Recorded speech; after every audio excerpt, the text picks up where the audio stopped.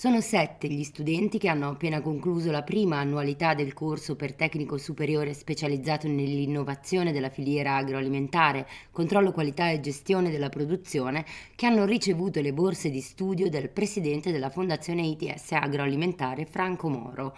Gli iscritti meritevoli hanno infatti la possibilità di accedere a questo sostegno messo a disposizione per coprire la retta di iscrizione il prossimo Open Day per ottenere tutte le informazioni sui corsi rivolti a chi è in possesso di un diploma di scuola superiore e vuole acquisire o perfezionare skill specializzate, la proposta è infatti aperta anche a chi è già occupato in azienda, si terrà su piattaforma digitale mercoledì 20 dicembre alle 16.30.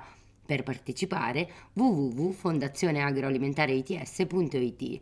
Per le iscrizioni c'è tempo fino al prossimo 15 gennaio. Due i corsi tecnico specializzato nell'innovazione della filiera agroalimentare, controllo qualità e gestione della produzione e tecnico specializzato nelle produzioni enogastronomiche sostenibili del territorio.